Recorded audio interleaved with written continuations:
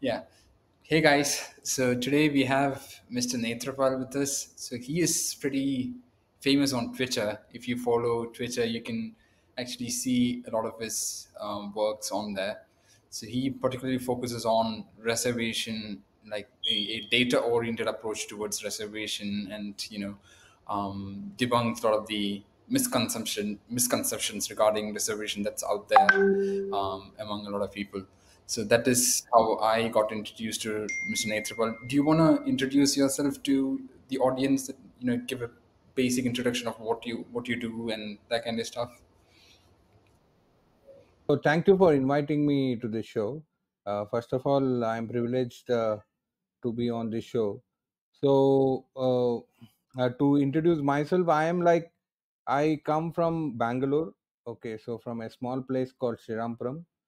So then uh, I, uh, my my both my father and mother they were uh, they were like they were brought up. I was brought up in a Harijan colony in Shrirampuram. So that is the background. So I I have experienced have the experience of all these things plus uh, the struggle of a Dalit kid to come up.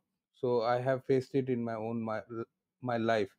Like for example, uh, for example, so what I am telling you is that it is not easy for people like us to come up. Okay, because the the thing is that every door is closed for us. So, but we have to fight it out, and then somehow we have to come up. So I went on to do my graduation from IIT Madras. So I did my BTech in electrical engineering.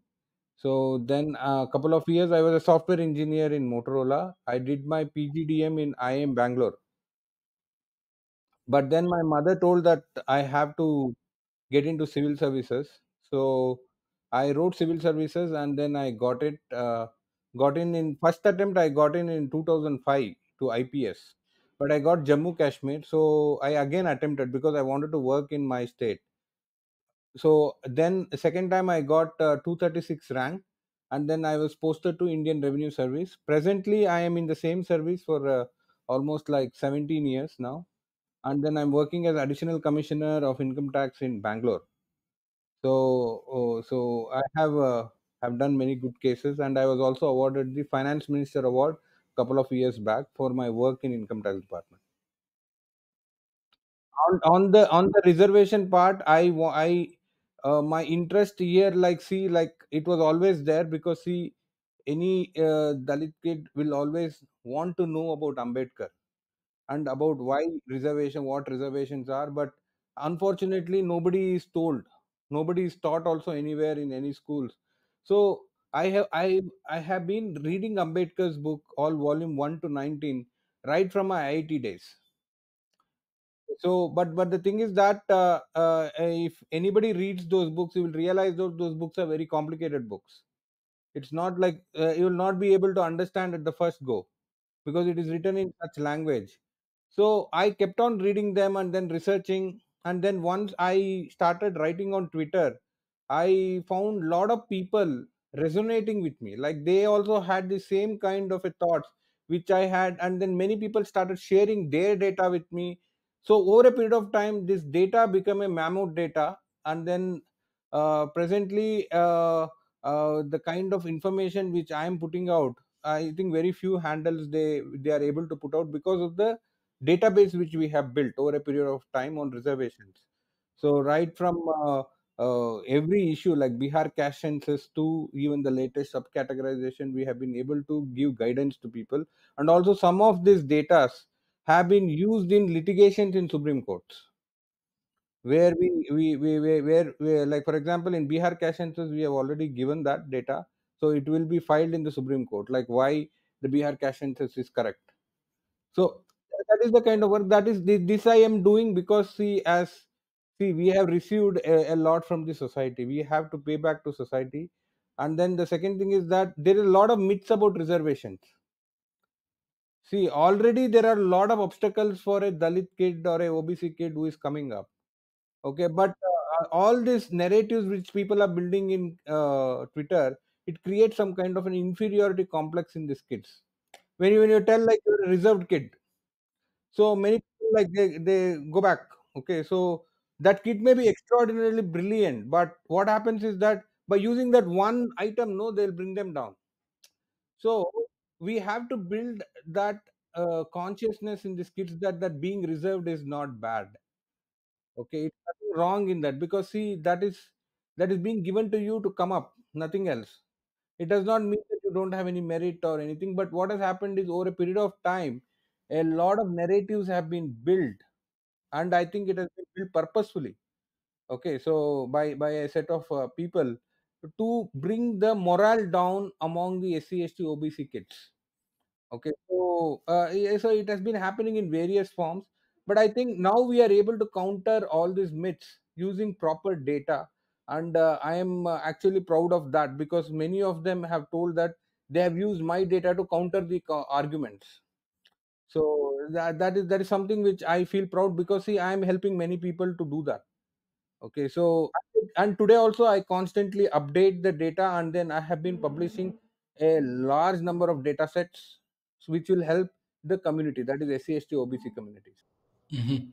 Yeah, I mean, I agree. It, it's a very important work you're doing because, you know, I mean, me personally, when I was studying with my peers, even the SCST, you know, and, you know, the, the oppressed caste groups, uh, people from the oppressed, caste groups believed that, you know, they were doing something wrong by, you know, like um, Yeah, yeah, yeah. yeah. in, in reservations and so on. Taking, reservation. So uh, that is how no, like uh, for example, uh, uh, mm, I had uh, a written on this. Like for example, in IITs, in IITs when you go, the first thing they'll ask you is not your caste. Nobody will ask you your caste. What will they ask you? They'll ask your JEE rank. Moment you tell your JEE rank, they know your caste indirectly. so, so that is how see the present day caste discrimination has changed in form, substance, everything. So the way it operates is very different. Like for example, in IITs, in the last placement uh, uh, session, many companies were found to be asking JEE rank instead of CGPA. Why do they require JEE rank? So the, uh, people should ask this question. See, for example, a SC, ST, OBC boy who, okay, let us assume that he took reservation, he entered IITs. But in IITs, he studied well, he got into, uh, uh, he, he got good CGPA. Okay, why should the companies ask uh, the uh, JEE rank? What is the thing? But then the companies, some of the companies I spoke with, they were telling that no, no, JEE rank is the only test of uh, it's, it's a third party test. They we don't have any other test like that indicates an individual ability. But what i'm telling you you are taking that that that kid came inside iit he studied hard he caught up he uh, and he did extraordinarily well in the exams he got good marks. So which is better? So see the, these are all ways of finding who you are and then trying to segregate you into various blocks so, so th- th- this is the thing. So, unfortunately, uh, it happens in different forms in our societies, and then uh, many a times it happens in a subtle way where you will not even find out. Okay, so uh, that is where uh, all this, like all these discussions, become important. Mhm. I agree. So I think that is a good, you know, uh, set place to get into the first question, right? Um, so when I interact with a lot of my peers, right, um, in my school, college, everywhere, um, if they're from a privileged background, a privileged caste background, they're usually blind about how the caste system works in the society because it doesn't affect them right? So, you know, a, a, the first thing that comes into their mind when we talk about caste reservation and stuff like that, it's, it's like, you know, no one, you know, like oppresses people overtly, right? Overt forms of oppression is very rare. It is just like one or two incidents here and there, right? it's it's really hard to explain to them that you know that is not the major form of oppression that exists in our society right now most of the oppression that exists in our society is very subtle you know very you know hidden you know it's, it's like are you vegetarian or a non-vegetarian? That kind of stuff. Um, do you want to explain how you know like like the, the what you were saying like do you want to expand more on that and explain how uh, these subtle operations? Tell you. Uh, like when you take the case of a dalit child like a scheduled caste child his experiences are very very different from other children like for example i'll tell you the first time when i felt that i'm from i'm somewhat different okay was in a classroom where my teacher came and called my name and others like few of my people who were eligible for scholarships. So they called mm-hmm. so we got up. Then what happened was like only five of us got up that is from the scheduled cast. So we what what did we think was that time that see we are like some kind of a minority in the class. Okay like for example that that impression comes and we are we are like come some kind of a different. But today when i research you'll be surprised that 25 to 30 percent of india's population is scheduled caste. So see the the what I, why what why i'm telling you is the basic things that what you are what is your population where you come from why the scheduled caste were created all these things are not known to our kids at all. And the reservations per se is considered to be anti-merit. Okay? See there is a, there is an angle like anti-merit versus distributive justice. Okay? So but in india what has happened is predominantly people consider it as anti-merit. And all these things starts with your JEE exams, NEET exams, where people start competing, and then it, it all starts. The concept of merit is built into the society. Okay, so because of this, what happens is that uh, anything which go, which is going against merit is considered to be very harmful to the society. Okay, like, like for example, uh, if you, if you have seen the Twitter memes, they, they start telling that reservation because of reservation uh, what, what is happening? The countries are going down. The india's gdp is going down. Okay so india is not going to develop. So for one of those uh, memes i replied back i told them that see do you know how many secretaries in india are from reserved categories? There are hardly anybody okay? There are hardly three or four from reserved categories. How can you tell that their performance is responsible for the entire underdevelopment? Correct. So, so see, the, the thing is that people try to relate unrelated things when it comes to reservation just to show your place. See, they want you to be down. Okay, so they want to build a stereotypical image of a Dalit that he is not hardworking, he is not capable, his academic abilities are weak. Okay, if he has got a JEE rank in reserved category, he is a dud.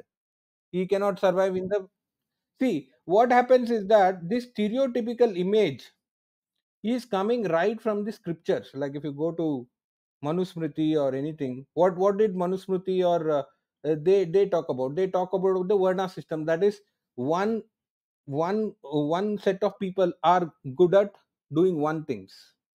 For example, if you are a scheduled caste, you are good at doing leather work.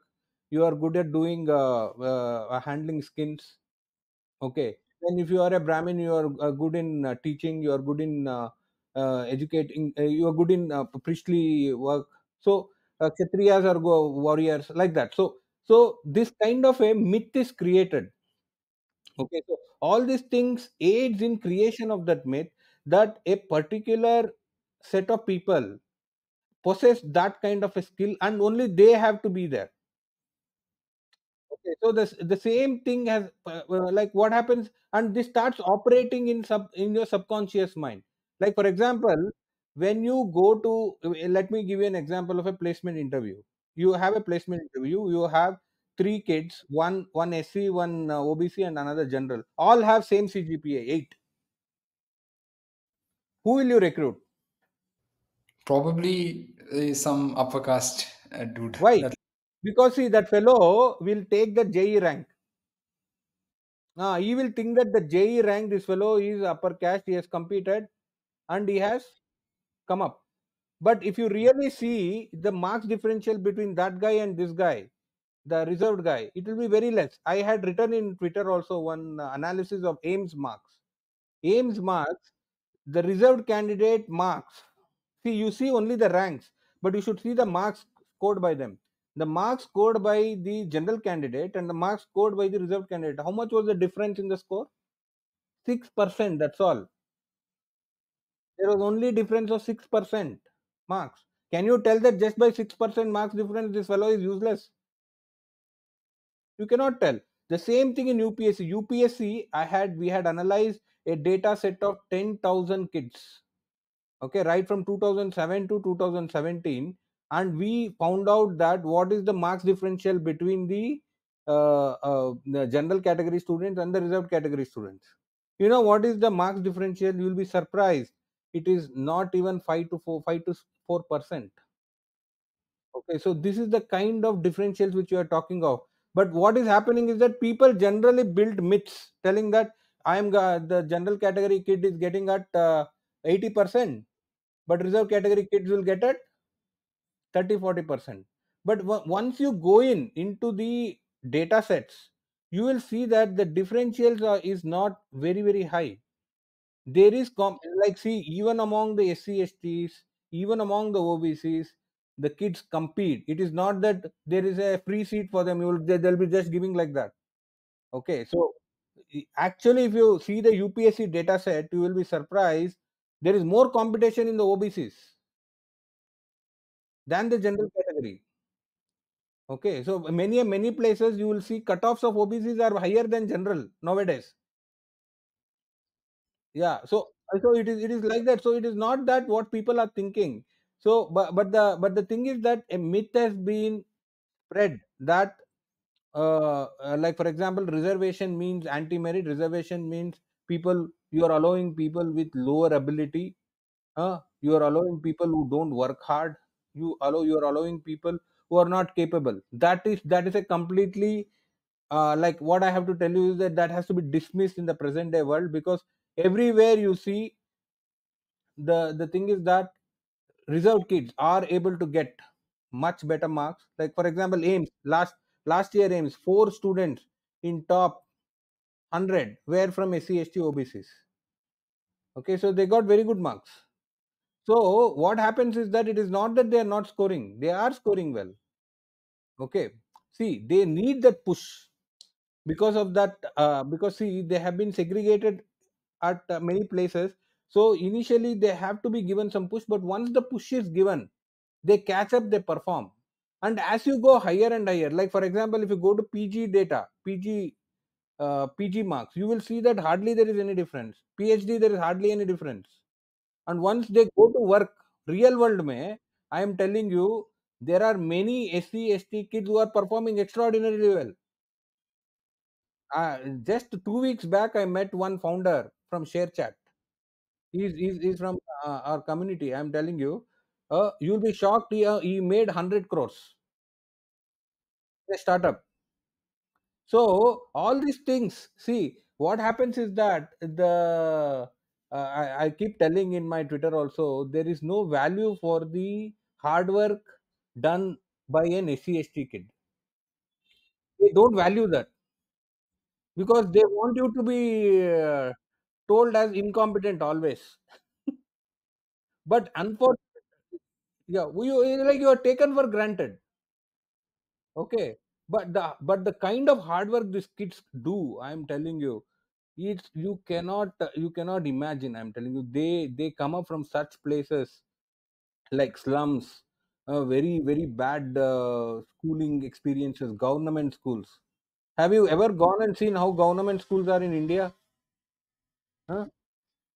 no government schools will teach you proper english i'm telling you. The most of the most of the scheduled caste kids they study there. But still they come up they work hard. Okay so but unfortunately the society no it doesn't respect them so much. Moment uh, moment uh, you tell reserve reservation no they'll tell that okay ye to reserve reservation wala hai. Uh, he has no brains huh? he doesn't know anything i think you must have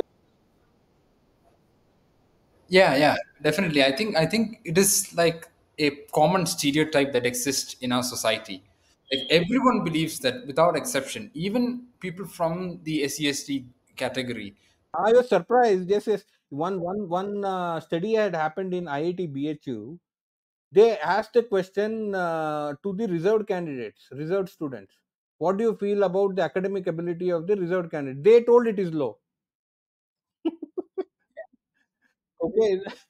So so that, that problem exists because see you are associating reservation with lower academic ability again and again. So that has to change. So i had proposed one change. I was telling that see why do you call only general as general merit and sc as reserved category you should also call sc as sc merit no? St merit obc merit list. You should publish you should tell that as obc merit list. By doing that people will start thinking that this is also a merit list. Oh, but the problem in india is that everywhere no people people publish the merit list general merit general only for general merit but for obc sc st it's called a reserved list. As if they they are not uh, they don't have any merit at all okay see the, these are the problems because see this is these are all perceptional issues of of the society. And even if they do extraordinary work also i am telling you the schedule caste uh, kids and the obc kids. Every level they have to prove themselves i'm telling you. It is not easy for them. It is not easy at all anywhere. You you have to prove yourself in the graduation then you go to the job there also the you, your caste will keep on hanging on to you. You have to show that you have you are capable. And you and if you go to abroad also you saw that cisco discrimination case it will not leave you. Even if you reach the highest positions where you are really like so called like only reach there only because of your merit okay the caste will start playing. Still it will not leave you.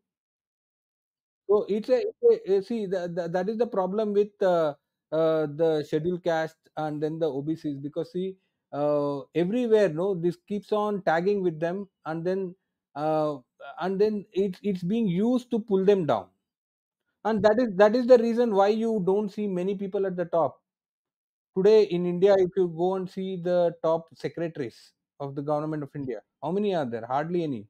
Joint secretaries, additional secretaries, very few are there Okay, so from the SC, ST, OBC community, you go to the private sector. Private sector में how many uh, uh, startups are from the SC, ST entrepreneurs? Hardly any. And then how many billionaires? Let us talk about billionaires. Are there any billionaires from the Dalit community? Nobody. Okay, so see, th- these are the things. See, what happens is that this is some kind of a stereotypical image built that this community cannot do that they are incapable so we so we have to get out of that mentality and then start exploring new things like build large organization build large enterprises everything Yeah, I agree. So, like an, a, a, so going off with that, right? You mentioned how there is discrimination in the job market, right? So, just a question related to that. Many people believe that a free market, a free market capitalism would be able to solve all of these discriminations and stuff like that, because in a free market, if you don't hire people on the basis of merit, you know, the market would hit back on you. The the companies that on the basis of merit would compete i, out I, will I'll answer your question directly. Which Mhm. is the greatest capitalistic uh, nation in in the world now?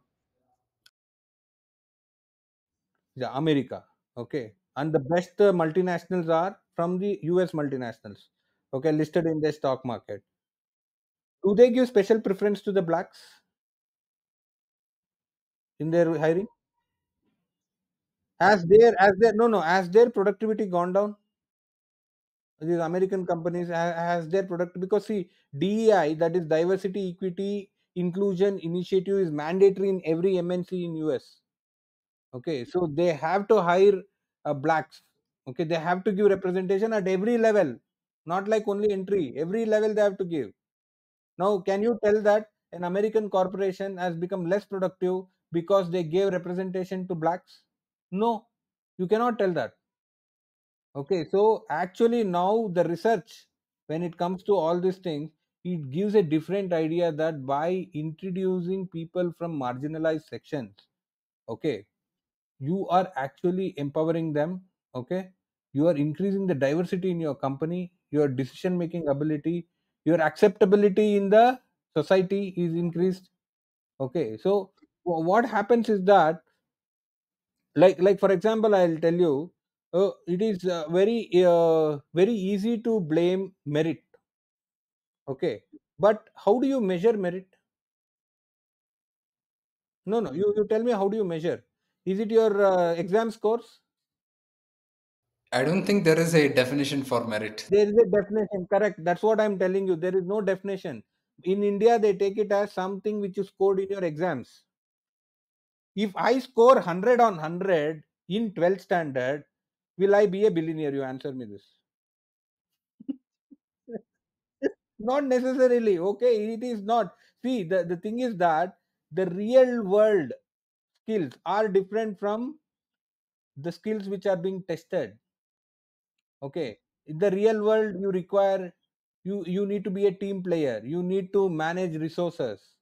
You need to take complex decisions just because you scored very high it does not mean that you will be a great success. How many entrepreneurs like for example if you take bill gates everybody okay they are all dropouts no? No?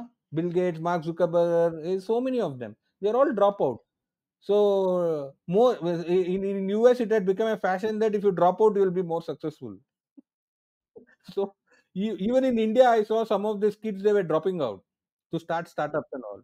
So because see the, the thing is that in the real world the skills required is much much more different from what is being tested. Okay and i'll tell you one thing. You there is a kid okay from a slum. He climbs up the ladder he goes to iit he cracks it okay. Then he achieves good cgpa also do you think his merit is big or uh, a ordinary uh, school uh, a, guy who is an is officer's son who goes to a top school he studies there and then go? Whose merit is big? Who has struggled more? The kid from the slum correct? No? Huh? because his ability to bear withstand that uh, what is that uh, to come up see that hunger for success success no it is there. If you go to any startups no startup uh, i i know many people who fund okay? So you mm-hmm. go and ask them see when they interview you or when they see you no they see you. They don't see your idea. They see whether you have that hunger. All investors they see the hunger in you. Not like just the idea whether this person can convert these ideas into execution real implementation. So what has happened is that this merit thing no our society has given too much of a bow that's what i'm telling. Uh, but actually speaking the merit it does not play so much in the real world. Real world it may work it may not work. I'll tell you uh, i don't want to name few doctors and all.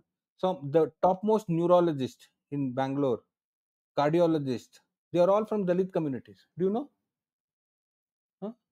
How do you uh, if you if you score in score good in NEET okay does it mean that you will be a good doctor or a doctor who has done 1000 angioplasties who is good? See the, doctor who has done 1000 angioplasties see these fellows have worked on the ground.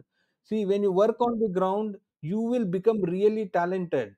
Today also i am telling you even in the government services you go and see who are doing the best works. You will find many many people from the SC/STs. See, I'll I'll quote one paper here because see, uh, this is a myth which is created that reservation uh, uh, alters the affects the uh, bureaucratic efficiency. So they did a detailed research by uh, one political journal, political science journal. Uh, they did a detailed research in India. They what they did was they took all IAS officers, they uh, grouped it into reserved category and then general category they measured their bureaucratic output like for example we have apars like appraisal reports are there for every officer. So they took that they measured everything and they found out that there is actually no difference between the reserved category and general category. And they actually found out that in many places reserved category students were doing much better. Why why i'm telling you this thing is that see you might have got into the jobs using reservation but that does not mean that you continue to underperform once you get into the real world real world is a different ball game altogether Okay, so different ball game, and I have seen kids who have got very high marks in 10th standard, 12th standard, not able to even survive in a good job.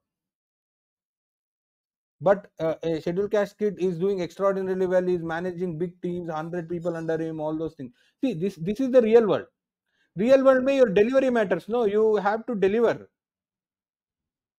And in that sense, what I feel is that because of the kind of backgrounds which these kids come from, they have that ability to withstand that pressure and hmm. deliver. And more important thing is that for a scheduled caste kid, what happens is that that hunger to make a place for himself.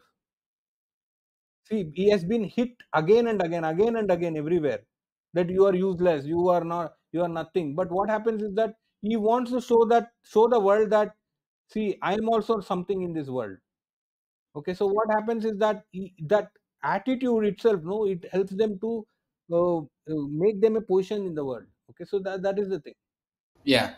So um, another question that a lot of the people have is, um, I mean, why why can't we you know give reservation on the basis of like economic status, right? On Actually, it is used uh, as a sense of a caste pride. Okay, so what I what I am telling you, uh, economic reservation. Let us assume I'll give you a scenario where you remove all this caste. Okay, remove all this caste. Okay, so let us not have any caste. No SC, ST, OBCs. You give economic reservations. Will it be equitable? Let us assume 100 people get selected in only on the economic basis, the poor. How many of the, those poor will be Brahmins? Most of them. This is the problem. And I'm telling you, this has been proven in a research work. Ashoka University under uh, Deshpande, Ashwini Deshpande madam, they have done a research. And they found out that these kids have that extra advantage. Social capital, we call it social capital, cultural capital. So that what happens is that, see, they have good access to English education See, the reservation, why was reservation introduced in this country? Do you think reservations were introduced in this country because you were poor? No. This is the myth which is created. You it is not created. Why? Because see, it was given to you because of segregation. You were segregated. Like for example, you were not allowed inside temples. Earlier in the ancient times, the temples had the schools So because you were not allowed inside the temple, you were never able to educate. You never you, you never went and became even a ninth standard or 10th standard. Once you did not get ninth or 10th, uh, do you think you will become a graduate? So higher education was denied to you. Once you don't get the higher education, do you think you'll go and get good jobs, government jobs?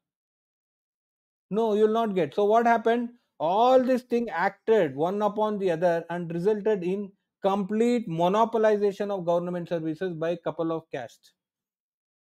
You got it. So uh, this is where the movement for reservation started because the first movement there, is a legacy like 1890 1881 it has started. Okay like where the they they used to call them as non brahmins because the entire government services were monopolized by brahmins through this uh, through this way. So non brahmin movement started even in travancore it is there even in uh, madras it is there karnataka it is there and they started demanding for reservation. Where did they demand for reservation? They started demanding reservation in schools okay so that the kids can go into english education get english education. Then after that higher education. So that only if you get higher education you will get into government jobs no? So all these things are linked up. So they created a platform so that more representation from various communities happen. Otherwise what will happen if you keep only one community from in the decision making position they only they'll be thinking what they think is their position. They may not create any policies also for the development of the others. See all these battles have started because of this so reservation is not based on economics at all. It is based for it is given for distributive justice. Okay, so all these arguments that uh, you make it on economics basis okay? So uh, th- there is no basis for that okay so but the, the thing is that uh, okay like if if if you if you assume that if you make if you give only based on economic basis you will get good representation from all categories then i will agree. But that will not happen. Because if you give only on EW, economic criteria okay so what will happen is that you will again get a monopoly of the upper caste only and and, and uh, there is a there is a proper uh, work uh, which tells that eco- m- this economic income no is not a correct measure whether you are uh, excluded from something. Like for example i'll tell you what is the uh, ews criteria? 8 lakhs per uh, this thing. 8 lakhs per annum. That is around 66000 per month. So how many people earn less than 66 what is the ews population then you tell? Almost the entire 98% of general category is ews instead of that if you take ews and split it into caste wise like brahmins non-brahmins muslims because many muslims also come under ews don't you think that will be a better uh, subcategorization within ews rajputs. So because see, we know clearly that brahmins are getting most of the seats so by separating them out it will be a better categorization instead of the economic uh, category. See here the main policy is not the the main thing is to give representation to the unrepresented. Some communities are not represented so we need to give them representation. That is the idea. Mhm. that is Yeah. what is equality under the constitution. Mhm. Yeah, I think all of these misconceptions they stem from the same idea, like a core idea that they stem from, right? Which is that all of this exclusion and segregation was in the past. Right now, no one is segregating anyone. All of these fields are open for everyone, anyone can enter. That is like an assumption that a lot of people have. And I think you have clearly shown in your work that that is not the case. All of these fields, even today, are dominated and you know kept as an excluded you know field by a lot of the privileged castes. Do you want to expand more on that idea? Because that is where all of these ideas come from? Uh, yeah yeah. I will tell you let us first start with the education part okay? I did a analysis of top private schools in bangalore okay? Like dps nps and many other christian schools also i took up as a sample. The data is available in UDISE portal in uh, uh, it's a national portal it gives you the percentage of sc st obcs in the schools private elite schools. What what should be the approximate percentage? It should be 50% correct? Huh? 50% at least should be there. You will be surprised. The representation is less than 8% you understand? So even in the christian schools it is not there. Because i was thinking at least the christian schools will give representation for SCSTs, huh? Because many christian schools like many christians are SCSTs. but even if you go into that data you will clearly see that christian schools are also not giving SCSTs.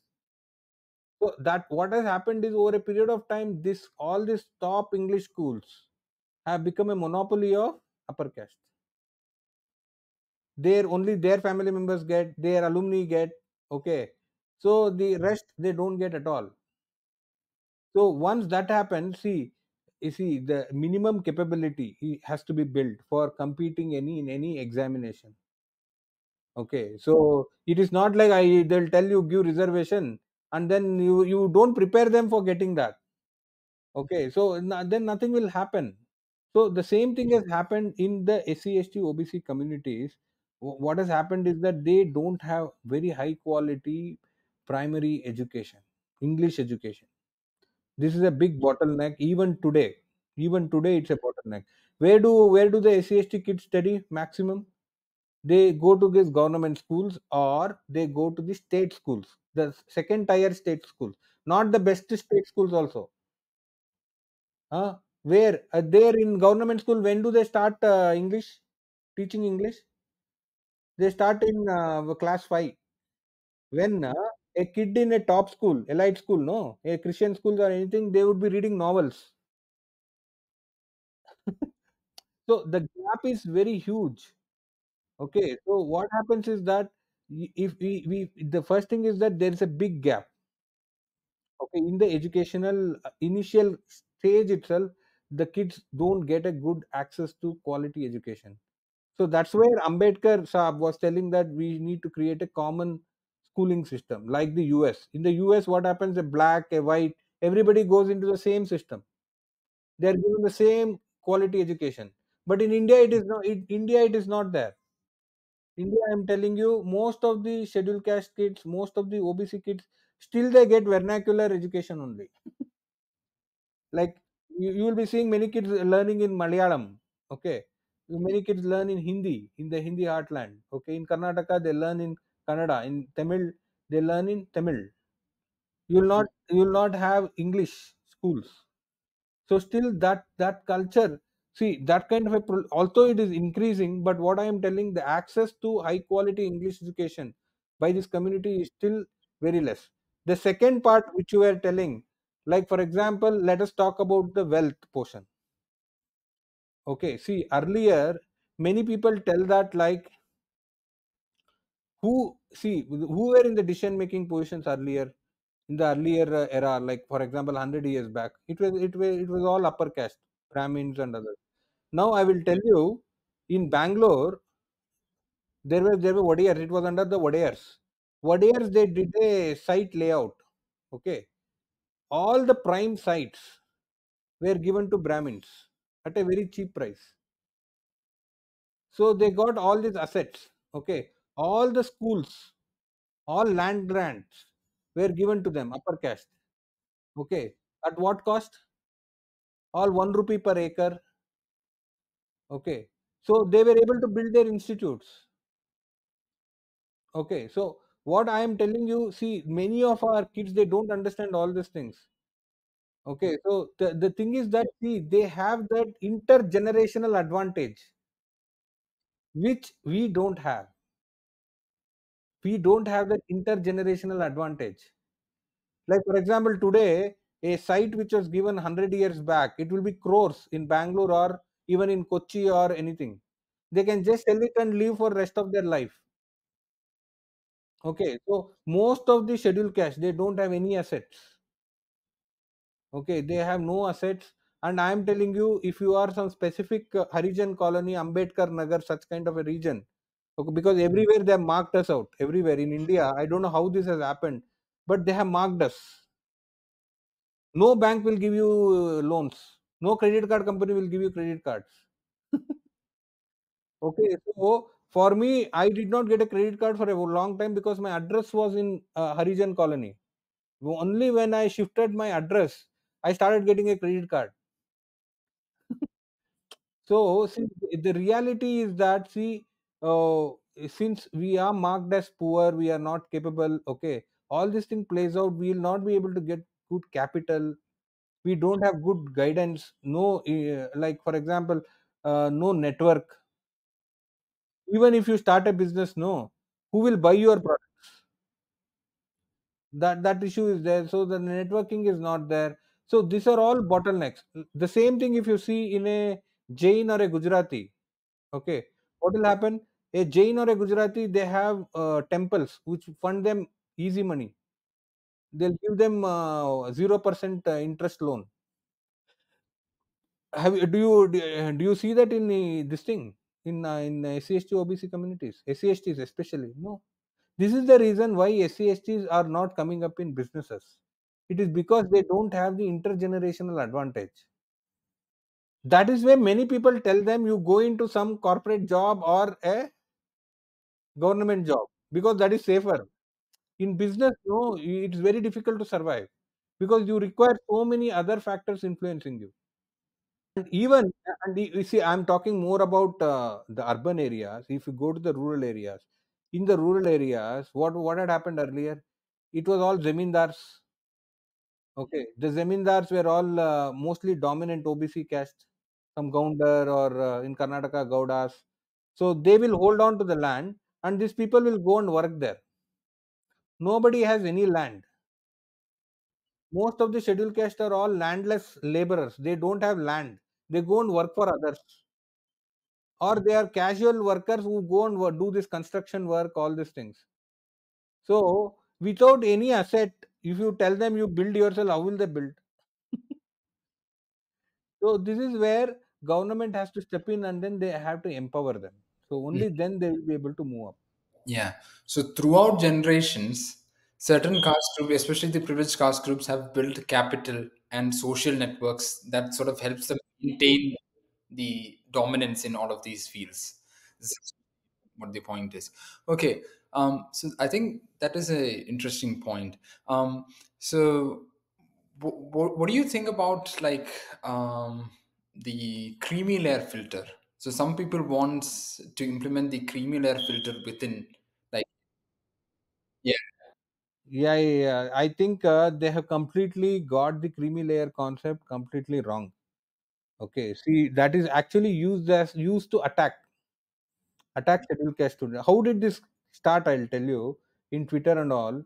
You know Tina Dabi, correct? Tina Dabi when she got rank one. She uh, Tina Dabi is she was a Dalit girl who topped the UPSC exam. She got rank one.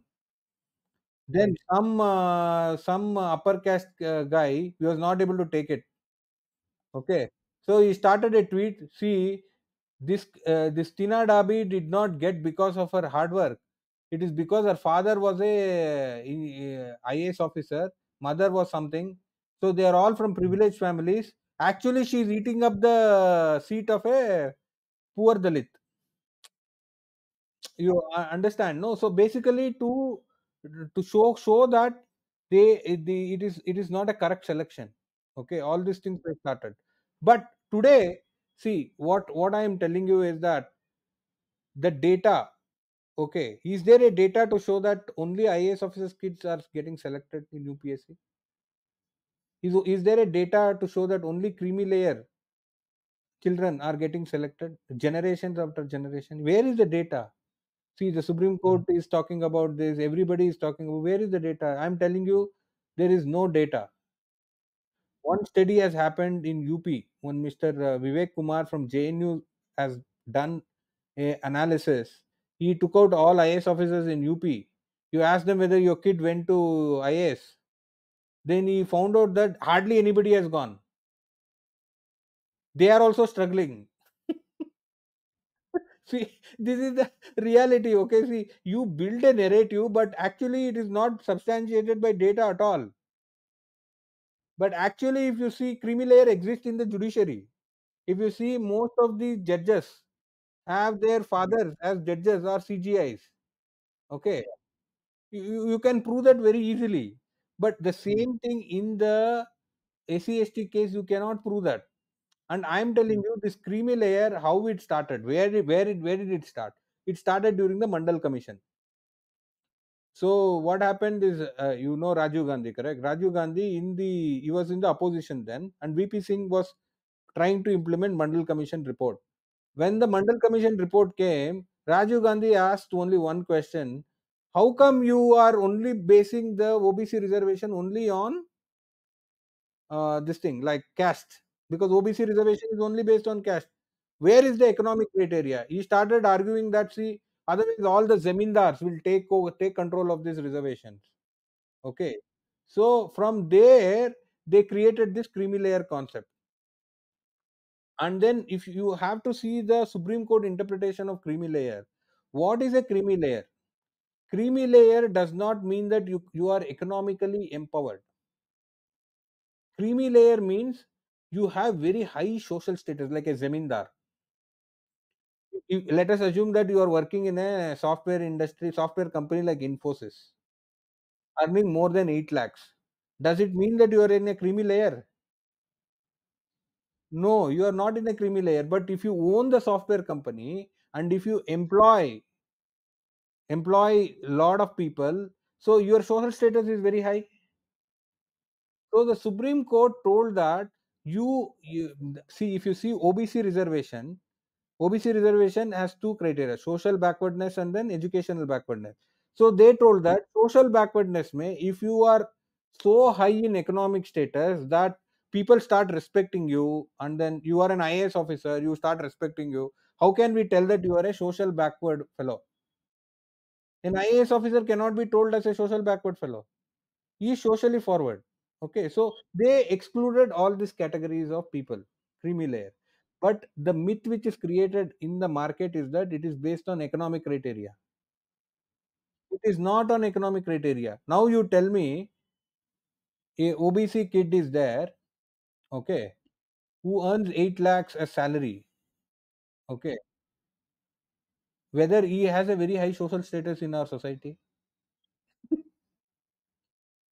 you you should answer this question do, do you does he have a very high social status It or depends. a it depends or a or a, or a group c government servant a peon who is Hmm. earning just 5 lakhs who, who has more social status It, it, it depends on your identity. If you're a Muslim, you know, in the OBC category, it doesn't matter what you're doing, you know, you're always seen as some someone lower than the other people. Or if you're from the underprivileged caste in the OBC category, you're always seen as yeah so see this these are the measures which they told. So they put an artificial filter of 8 lakhs. Okay. But there is and one thing is that see this creamy layer what happens i'll tell you. Creamy layer is a very dangerous thing. This has hmm. happened in obcs when when the creamy layer was introduced in the indra sawhney case judgment supreme court supreme court told that see you don't make this line a very rigid line. tum a rigid line mat karo because see what happens you make it too rigid and exclude too many people then reservation quota hi nahi fill hoga it will never be filled up. So the same thing has happened in obcs today. Obcs 2015 16 there was a report on creamy layer. They tell that in government the filled up vacant filled up quota is just 15 12% 15% quota is not filled up at all So by introducing creamy layer in scheduled caste, what you are going to do is you are only going to increase the unfilled vacancies. See, in, in scheduled caste, even today I am telling you what is the real problem. The real problem is not like all seats are getting filled up. You go to IITs, many seats are not filled up. NEET, 7% seats are empty. PG hmm. empty. Okay. So many places seats are going empty. In all universities, not found suitable, NFS. So if you introduce creamy layer, what will happen? This is unfilled vacancies will have more increase. And if unfilled hmm. vacancies increase, who will be benefited? The general category. No, finally it will go there. See, these are all see. Uh, th- this is the issue in creamy layer. So the and creamy layer, no courts have approved for SC ST. See, uh, cre- why I am telling you, the original Indra Sawhney judgment told that only if your social status is very very high okay you will come in the creamy layer but unfortunately in the schedule caste what happens let us assume I, uh, an IAS officer is there from schedule caste. Whether his social status is very high you tell me that. His social stat- not necessarily because he is still an untouchable. His social status does not change. He will not be able to marry a brahmin girl. A poor brahmin girl also he cannot marry i'm telling you. Because i know so many of my friends who are not able to marry Okay, because although they fell in love with uh, some upper caste girl, they were not able to marry. It- It's a very common thing. I think you will also know many stories. In Kerala, though, I think it is very horrible. Huh? Huh? In Kerala, Tam- Tamil Nadu, Tamil Nadu is very bad, but Kerala I have not heard of this honor killings and all. Tamil Nadu is very bad for honor killings. Even Karnataka has honor killings. Mhm. Kerala, I don't think it is so bad. Yeah, I mean, it is happening, but you know, and and even the exclusion is very subtle. You know, I mean, uh, you're vegetarians, we are not. I mean, you're non-vegetarians, we are vegetarians. So culturally, it would- wouldn't work out. That yeah, that is a sort of you know justification that is given, but still, that is happening. Like, Yeah, yeah, that will happen. No, no, but in some places like uh, Karnataka, Tamil Nadu, you you are killed that is very very dangerous. And uh, and the sad part is that I was seeing uh, some of the these kids who were killed in Tamil Nadu, uh, the SC boys, and I am telling you that that girl, no, girl's family is nothing. It's very very poor. Okay, so they probably would have not got a better kid than that guy. so this is the thing, but the thing is that they feel uh, they they feel that their uh, status is hurt. No, the honor is hurt because you are marrying a Dalit kid, so they they became social. Their social status came down because of that. So the Supreme Court clearly tells that in case of Dalits, it is very very different. Their social status does not increase in this country. Okay, whatever you do, it does not increase. So what happens is that there is no concept of creamy layer which can be created for uh, this thing Dalits. It's impossible. And that is what the government also has stated now. I think last week they have told that creamy layer is no is not going to be introduced in SCST. It, it is not going to be introduced. It's a wrong concept. basically uh, you know the creamy layer concept essentially you have to show that a certain group of individuals you know are in a socially high status enough where they are able to overcome the exclusion Okay, correct, correct. See, in why this was introduced was in OBCs. You know, they were big landlords, zamindars. So the uh, the question came up in the parliament telling that see if you don't introduce creamy layer, this cream this uh, zamindars and all they'll take over IAS everything using these reservations. So the basic idea was that to avoid all these people and so that it goes down to the real needy. But unfortunately, in the SC ST community, we don't have such landlords. The landlords or such communities which have multiple generational even if it is there, it may be very few.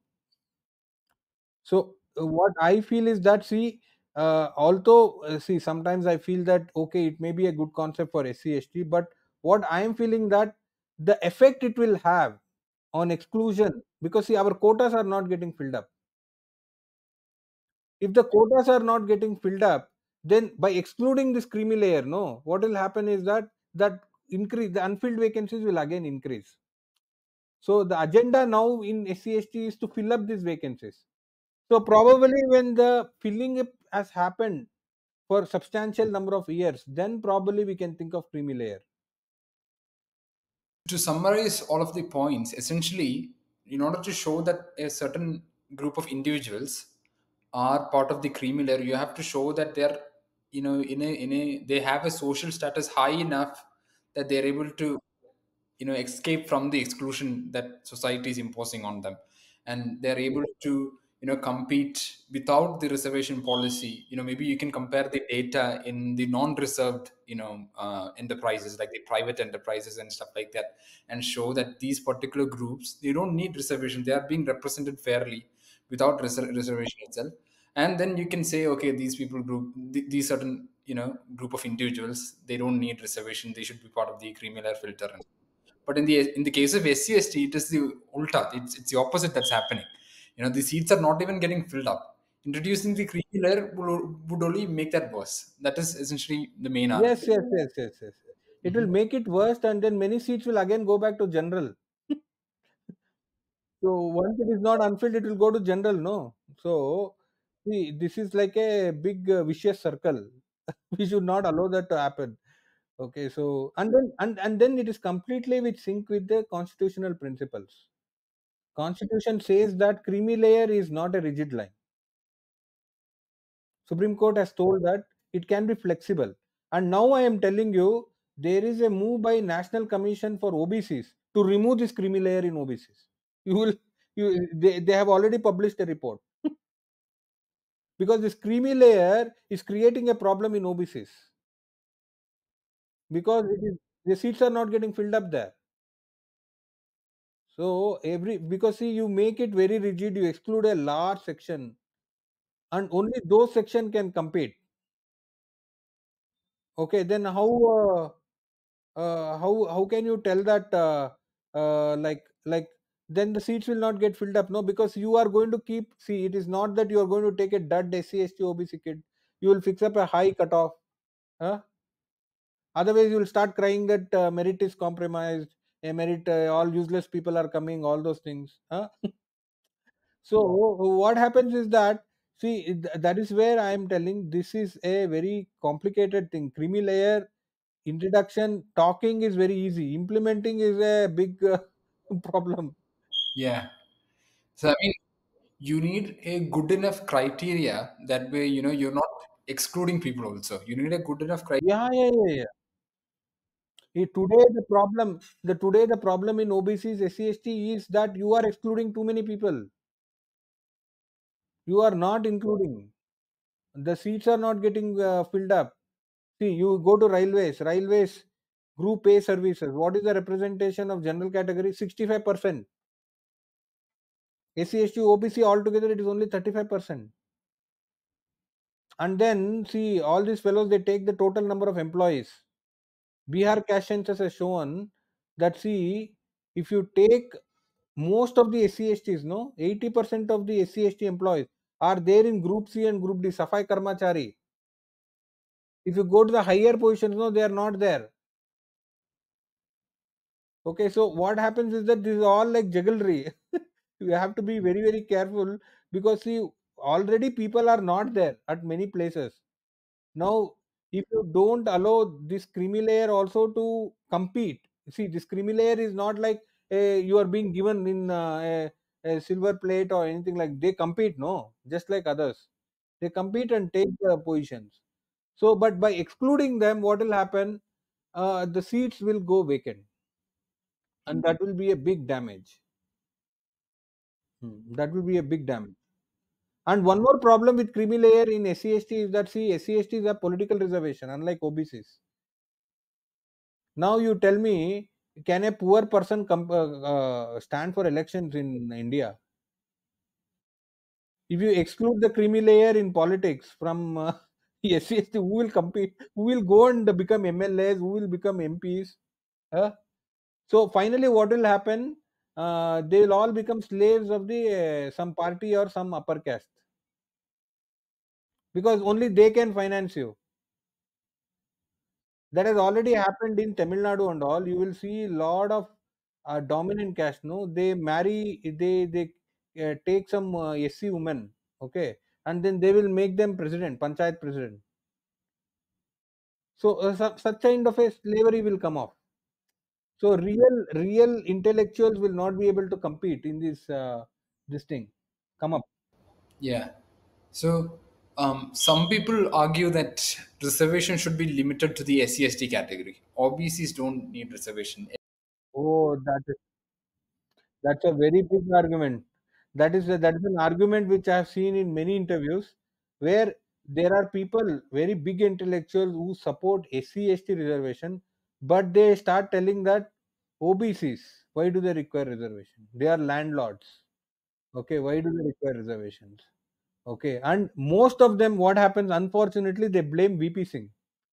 They start blaming VP Singh, telling that this VP Singh fellow, he started, he played a big political game huh, for his position because he was losing uh, he was uh, losing his position so to for that he introduced obcs see this is a completely a far statement i'm telling you okay completely far statement. Why i'm telling you the obc reservations has a history of 110 years.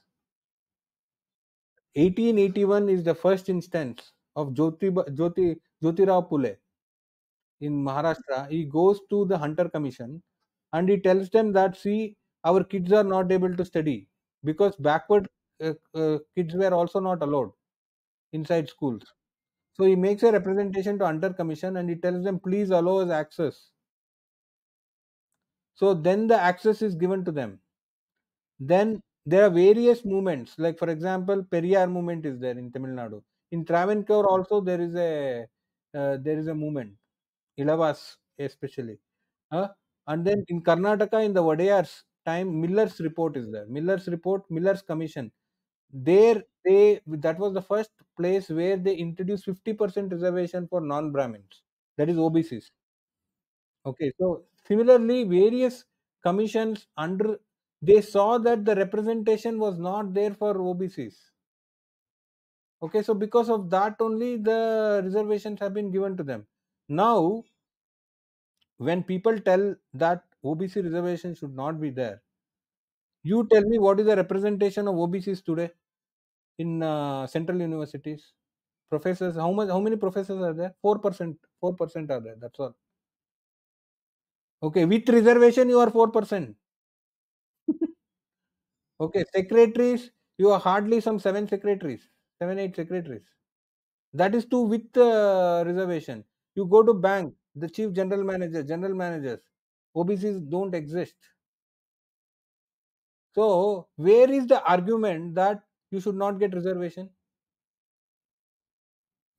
If you are overly represented, okay, you are eating up everything, you are monopolizing some services, then I can tell that OBC should not be given reservation. And then you, I uh, there is a famous report uh, called uh, State of Working India. You should read that from Azim Premji University. They also get into the economic part of the OBCs, SC, ST and all. Okay, so what they talk is like see OBCs were traditionally business people, correct? They they are supposed to be found in businesses, not in government services. But when they did a study, they they were surprised that see they found they are present in businesses, but they are present in businesses where the enterprise employee size okay is less than seven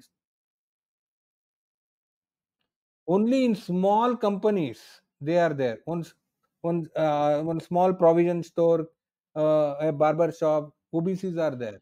But as you cross 7 where you get into big enterprises where you start seeing uh, stock market companies okay listed entities you don't see obcs there is only upper caste there. More than 20 you will see only upper caste dominated companies. All NSE BSE listed companies they are all upper caste companies OBC companies are not there. So th- these are all myths. Okay, wealth again. Wealth is not concentrated more in OBCs. Piketty's latest report, latest paper, Billionaire Raj to British Raj. So that paper talks about this. They, they talk that uh, almost the entire uh, wealth, okay, is concentrated in the upper caste. OBC wealth is decreasing. So from every angle, so from every angle, when you see what it appears is that the OBCs have to be empowered more. There is a very strong case for increasing the reservation. yeah, not decreasing. But unfortunately, what is happening because they are becoming very politically empowered, hmm, and then and and uh, and see, increasing reservation does not mean that you will not do well. Like see, you see the example of Tamil Nadu. Tamil Nadu has sixty nine percent reservations It is also one of the top states in uh, uh, GSDP, that is uh, gross state domestic product. Okay, so they have created uh, great industries. They have created great, uh, like they have best uh, medical facilities, educational facilities. So it there is no relationship between all these things. See, reservations will help you only to create the pool of people. It will help to improve the capabilities of that person. But once once you capability is developed, you are left. No, see, I take reservation when I was in college but do I take reservation now? No. In the jobs, where do you take? You have to work hard. nobody will nobody will give you any promotion if you go and tell that uh, uh, I am from SC category. You give me promotion. Even in uh, government, there is no promotion reservation. See, every every kid who is see the the role of reservation is only to bring them to a level where they can survive and compete But after that, no, it is up to you, completely up to you, and it's the ability, individual ability, why they are surviving. And today I am telling you, there are a lot of SC, ST, OBC kids who have made a name for themselves. Okay. They have really uh, created a excellence, which I, I am telling you, I am very proud of them because I, I gave you examples also. There are entrepreneurs who have made hundreds of crores. Okay, they have they are owners. Okay, big business. They employ many people Okay, so the re- in the in the current era, we are seeing that that empowerment is happening. Okay, as we go ahead, it will move ahead, and many people see gradually see the role of government jobs also is coming down. See, what is the percentage of uh, uh, jobs impacted by reservation in India? It is hardly two percent. See, how much is the government jobs in India? Two percent. That's all. The rest are all in uh, private jobs. But people keep shouting reservation, reservation, reservation. The 98% of the jobs are not affected by reservations. 2% job. The problem with this 2% is that these jobs are very important. Like IAS, IPS, strategic position. No, that is where see they they feel that pinch. Today, I am telling you in Maharashtra, Marathas, Marathas were kings, warriors. They have huge tracts of land all over Maharashtra. They are politically very strong. They have big industries, but still they are fighting for Maratha reservation. Why? They want to be included as OBCs because they want their kids to be IAS, IPS. So because see that uh, power, no, the status of the government job, they want that. But if you see economically, they are way ahead. You cannot compare their uh, income levels and then wealth levels to any SCST. It's impossible. But still, they want that because see what has happened is that SCST kids today they have started competing. They have started studying. They know the value of education. Long are the days where SCST parents know they don't give good education to the kids. Most of the mothers, SCST mothers know they want the kids to get good education. They put them in good schools. They give them good tuitions. Okay, they compete. Okay, so that competing ability is coming in all these uh, categories. So what I am telling, as it increases, okay, the role of reservation is going to come down, and then the role of reservation is already low in this country. It is not like very very high. As I was telling, only two percent of the jobs are impacted by reservation. See, in private sector, who has the advantage of getting a job? Upper caste. Do you think we have the network into the private sector? No, nobody has if if I have to refer a refer a scheduled caste kid to a company, I will not know the HR there. I will not I will not have many employees, but an upper caste will have. They will refer. See, it, it acts in a very very different way. The private sector. See the this all this myth of merit. No, huh? See, uh, the, the invisible privileges will never be seen. Okay, so for example, nobody will accept that invisible privileges Hmm. Like for example, that one book I was reading where they tell about uh, these invisible privileges uh, experienced by rich entrepreneurs. Okay, like for example, if you talk about Bill Gates or Elon Musk, they'll all tell that they have worked hard and come up. Hmm, Okay, but you must see who gave, how did uh, Bill Gates get his first customer in IBM? His first customer was IBM. Okay, it was through his family network. Okay, who invested in Facebook? It was Mark Zuckerberg's parents, Parents. Mm. Dell. Mhm. Okay, so all these are invisible privileges Mhm. which the scheduled caste kids don't have. Yeah. Okay, so but all these kids, what they tell, they are they are there only because of merit. Yeah. Yeah. they never talk about all these privileges. hmm That is something I wanted to touch on. Like, w- what is the hiring process in the private sector like? You know, is it just based on merit? Like, you just look at the resume of the person, and yeah, I mean, he has a good mark and stuff like that. You interview the person and assess if he has merit. Is that how the hiring process happens in the private sector in reality? Or is it more like network? Private sector hiring, they they see big MNCs like American MNCs, they have a process.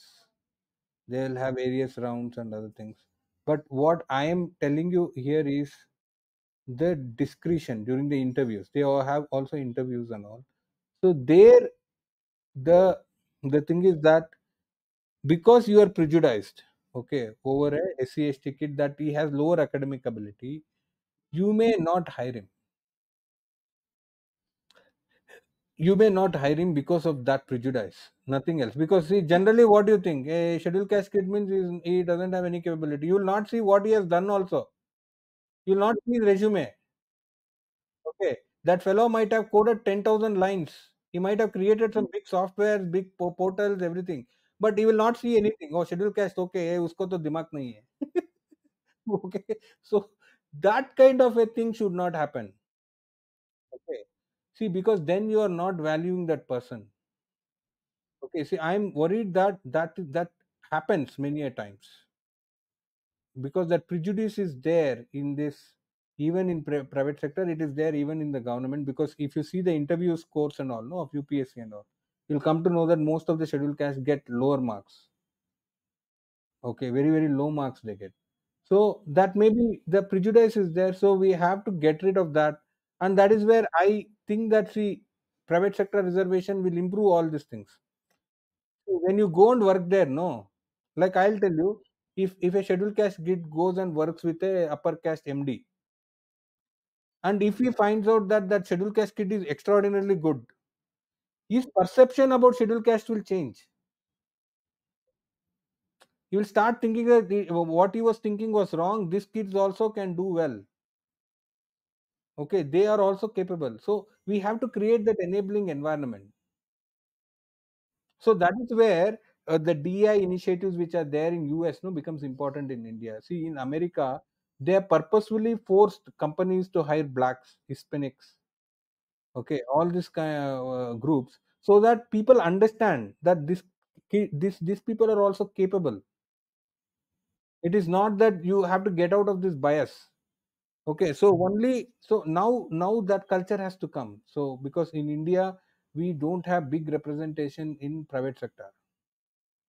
SC, ST, OBCs especially we don't have.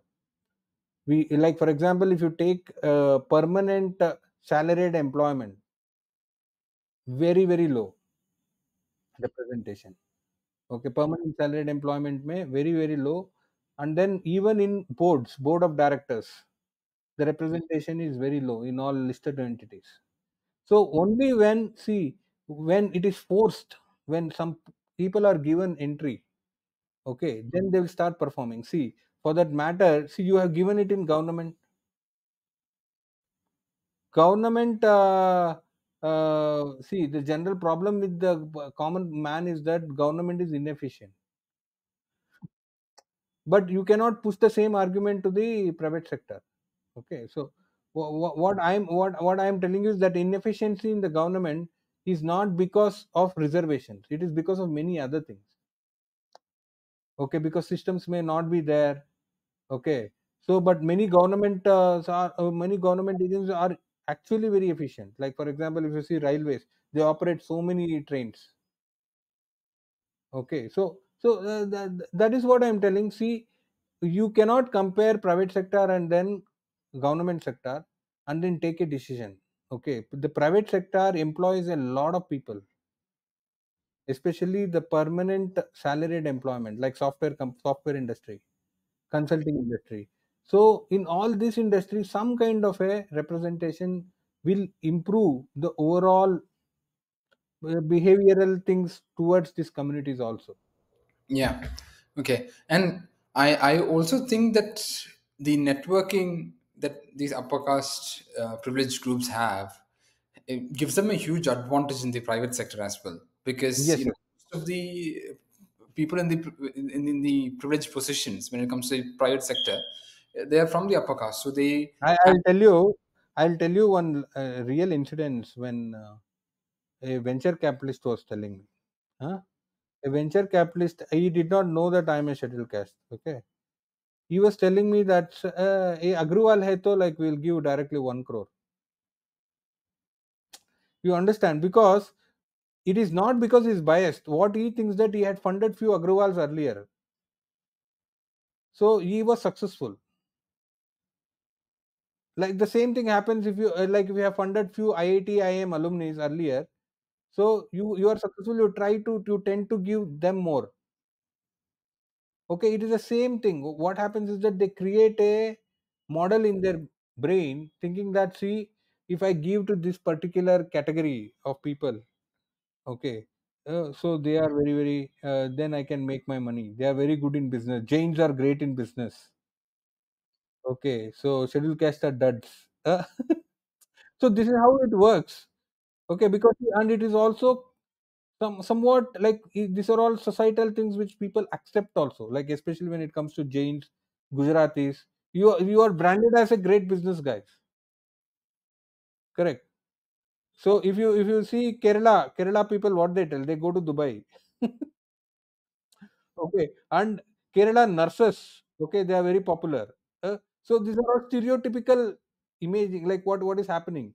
But actually what what they don't see is that the capabilities individual capabilities is there in everyone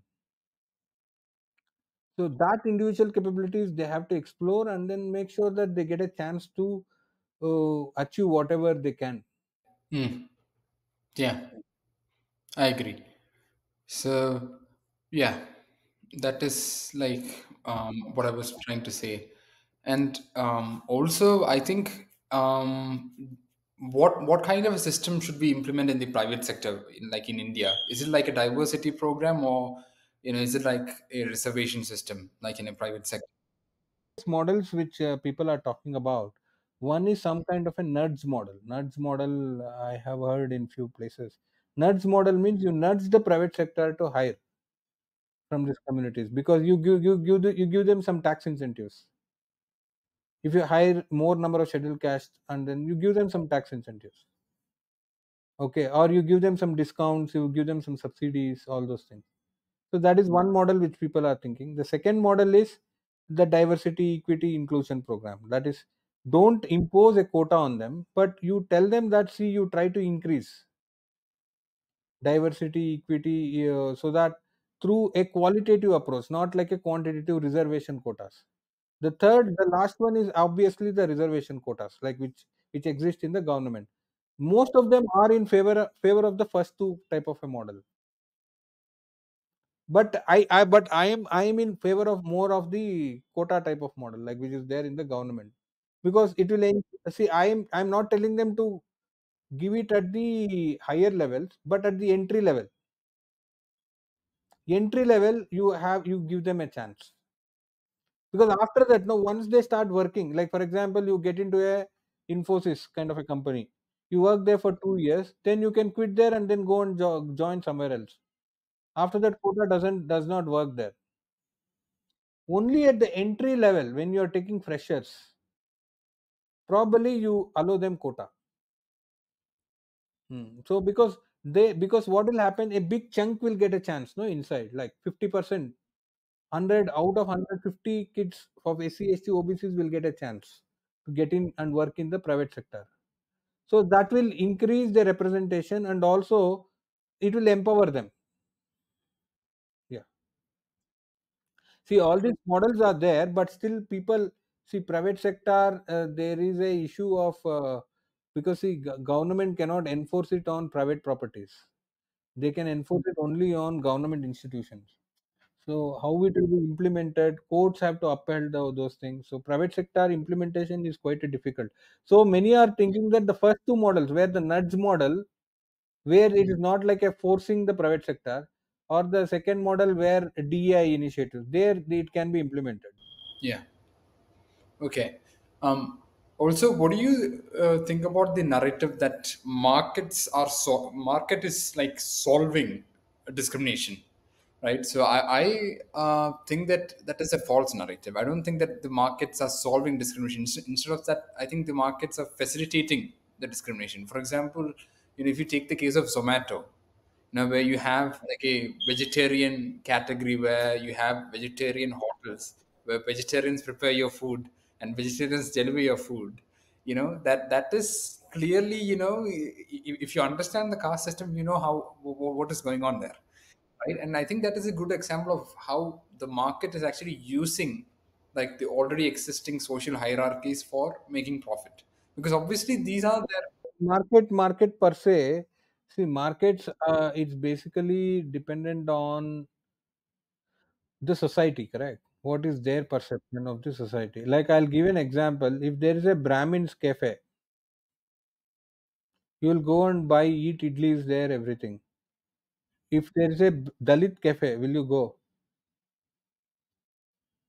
Hmm, No. So the, see, market they're willing to incur that loss even if the price is low they won't go uh, will not go because see the the problem is that markets are run by people. Okay, the people have these prejudices. So when the prejudices are there, obviously it will get translated in some way or the other, and that results in inequality. Okay, so So uh, otherwise, see today why many uh, SC, ST, OBC kids are not able to start any business. It's because of all these prejudices. You go and ask any SC, ST kid. The the thing is that the parent will not give you any money. They'll tell you go and uh, work somewhere. Okay. So see the the thing is that see uh, it is very easy to tell market will solve the problems. Okay. Then why reservations are also needed? If market is going to solve that problem, why do you have to give reservations? Market should take care of it, no? Take care of the representation of even the marginalized groups. We, why reservations have come up is it will not take care. it will not take care. If you purely go by merit, all the candidates in the government and in the private sector will be from one or two communities. That you agree, huh? So, but that is not a fair system because see, the society has many things. We don't know. Some sometimes we can't explain why these things are happening. Why only one community is getting selected? Why those communities are not getting selected?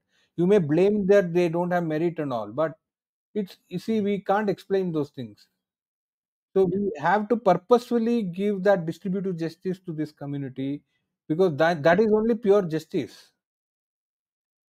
Because see, the, uh, otherwise you will create a chaos in this uh, society. What will happen? One one section will be very developed, another section not developed. The other section which is not developed will keep seeing the other uh, that section which is developed and keep blaming them for their downfall. And eventually, it will lead to a social chaos. huh? So, if, you want to build, see, the constitution talks about brotherhood, paternity. Okay, so only when the entire sections of the society start thinking that, okay, the governments are fair to me also, they are treating me well, okay, they are giving me an opportunity to de- develop, then only that brotherhood will uh, improve, no? But if they start thinking that this government is not doing anything, huh? They are doing only for one community, where where will that brotherhood come?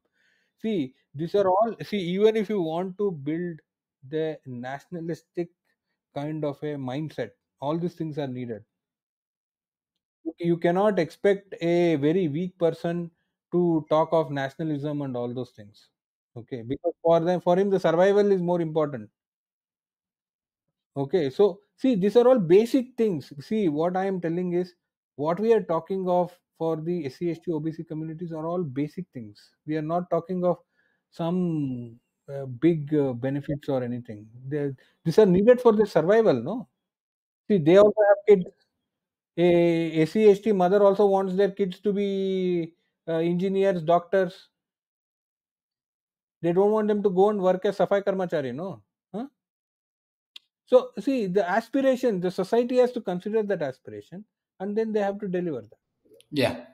Yeah. I mean, I, I think the point a lot of these free market believers are missing is that, you know, they think that in actuality, what is happening is we have, you know, a lot of different people in our society and they're thinking about how to make more money and how to make more profit and stuff like that uh, over their caste prejudices and you know their caste hierarchical you know systems but in, in reality people are preferring their caste hierarchical systems over you know making profit yeah so You, you, you take any you, you take any top uh, listed entities, Reliance, Birlas, you go and see their senior managers. I am telling you, go and study their senior managers. You will see that they are all coming from one caste. so, uh, and then again, there was one study from IAM which I did not quote. The the thing is that in mergers and acquisitions, no, like for example, you are an entrepreneur. You want uh, some big company will come and acquire you. They found out that Dalit companies will never be acquired by anyone, although there is some value in it. I so uh, th- these are the kind of things. So what I am telling you, see, uh, they will prefer a uh, upper caste uh, companies to be acquired. Merger in mergers, acquisition, all these things, funding. These are also. This is the reason why Dalit companies uh, don't figure in the top NSE list or anything listed uh, entities.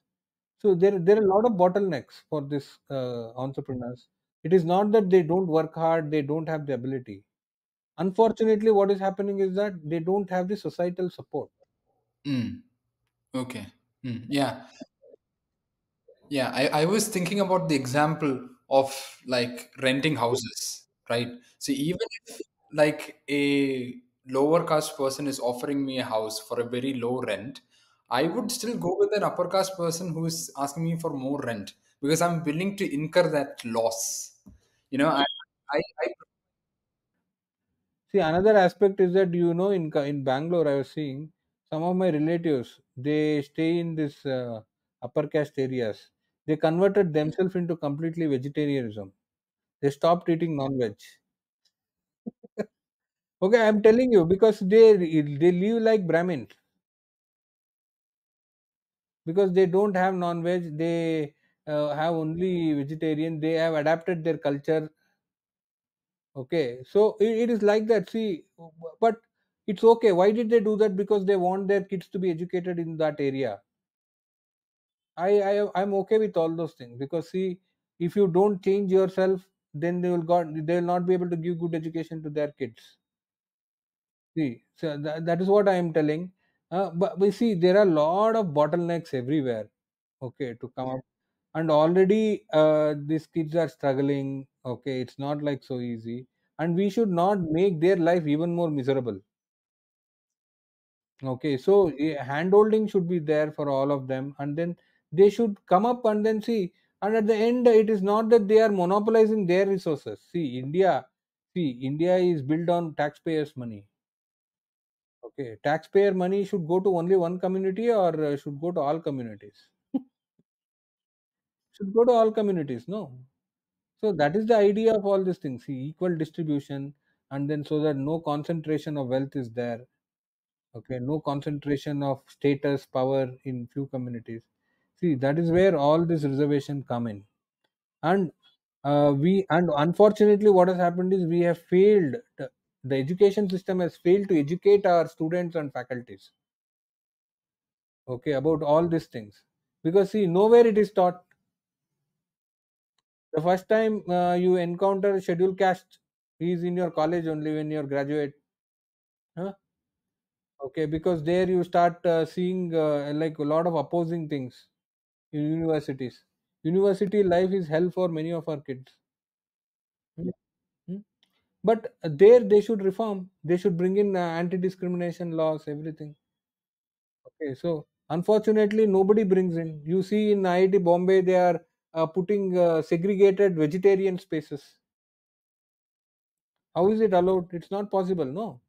In uh, in uh, malls, do you have such a space where only vegetarians are allowed to sit there? Uh, do you have it in the airports where only vegetarians can sit and eat? These are if you are developing such a culture in the kids, okay, how will they grow up?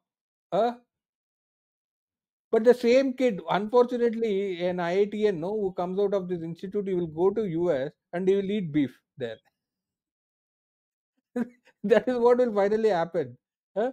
But but but the thing is that people have to understand especially in the university culture okay a more enabling environment should be there for this SC, obc kids so that see uh, that is where like see many kids know i have seen that they have their first experience of all these things otherwise nowadays in the schooling at all it is all nothing is there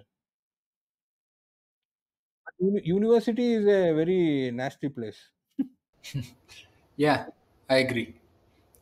Yeah, I mean, um, another um, criticism of the distributive justice model that a lot of uh, the anti-reservation camps have is essentially, you know, just by looking at the disparity or underrepresentation of certain groups, how can you say that they are being discriminated? That is a question like a lot of these people have. Okay, these people are underrepresented, that's fine, but how are you saying that that is because of discrimination? It could be because of a lot of other reasons. Yeah, yeah, yeah. That is completely proven now. See, this is this argument is completely wrong because I already explained it to you earlier also now. See, what happens is that discrimination is segregation. see how all these things started like for example you were segregated from getting education you were segregated from starting a business. You were segregated from getting a good salary by having a good government job. This is all segregation only no? You are not allowed inside mm-hmm. government job. So what happens? By segregation what happened? You were not able to provide your kids a good quality education in a good school. Okay? And that led to educational backwardness and once educational backwardness happened you were not able to go into the graduation. Your higher education became completely monopolized by one or two communities like brahmins Iyers okay so they monopolized it. And uh, nobody else backward communities nobody were able to get into the higher education. Because you did not get into higher education now you were also not getting into government jobs. Because you are not eligible for those jobs it led to inadequate representation in government jobs. See i will tell you ambedkar ji he, he, he argues after pune pact 1932 1932 was the time when pune pact was introduced. But 1941 he goes to the viceroy and he tells them that see see you agreed on pune pact huh, to give uh, people.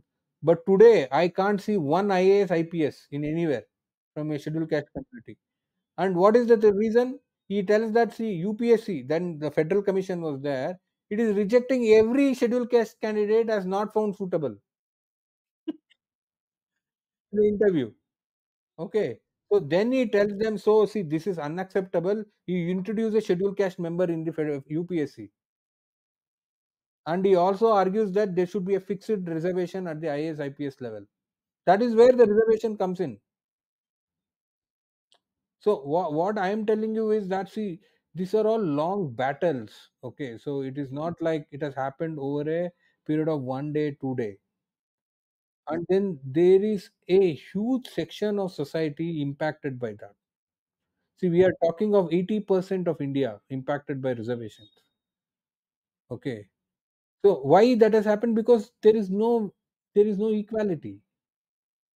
It is such a skewed distribution of wealth, education, uh, education, assets, everything. No, the, a large section of society does not have that.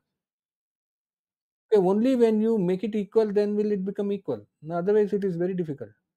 Yeah. A lot of people say that uh, the underrepresentation is because of their choice. A lot of anti-reservation people.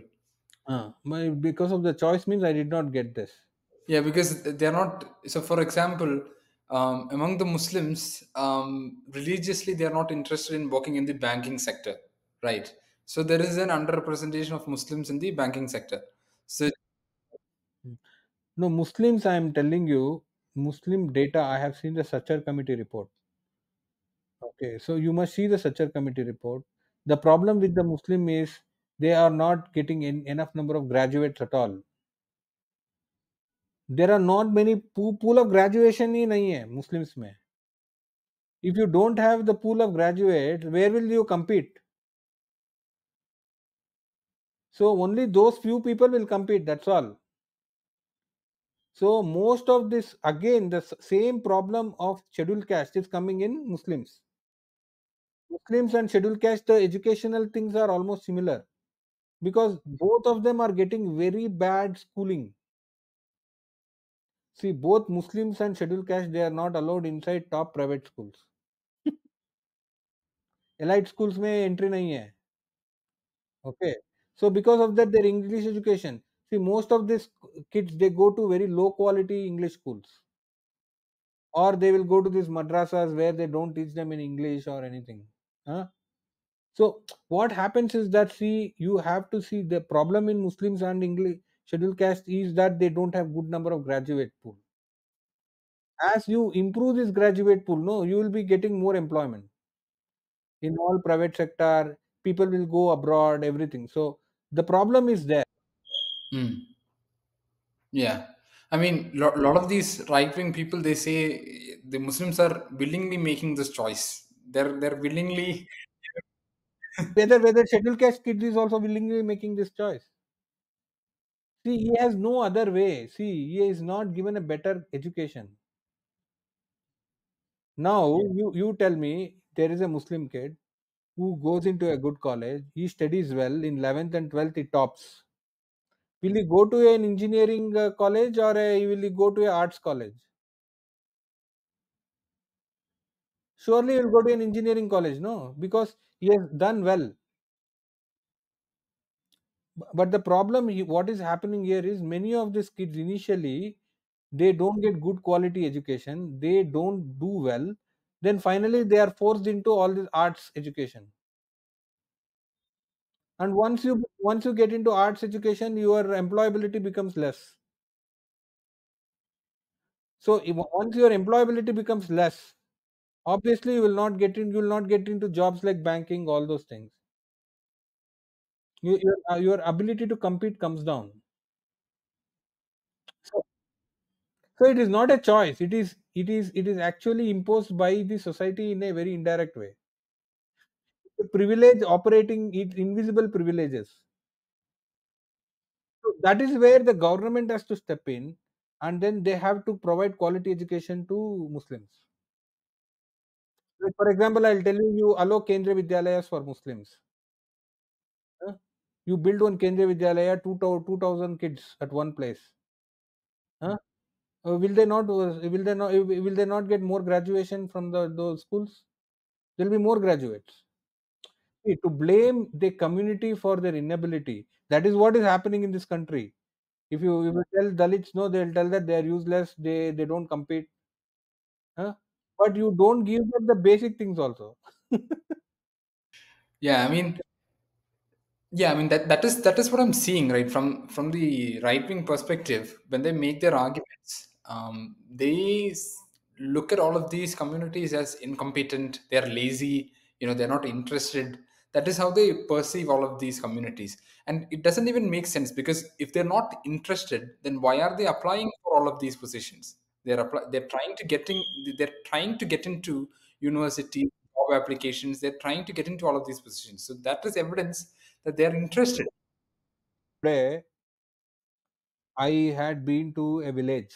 My home village, my village is in Mysore. Okay, in Bangalore, Karnataka. It's a very rural rural village. Even if you go to those villages, their parents, no, the- they hmm. don't want their kids to go to government schools.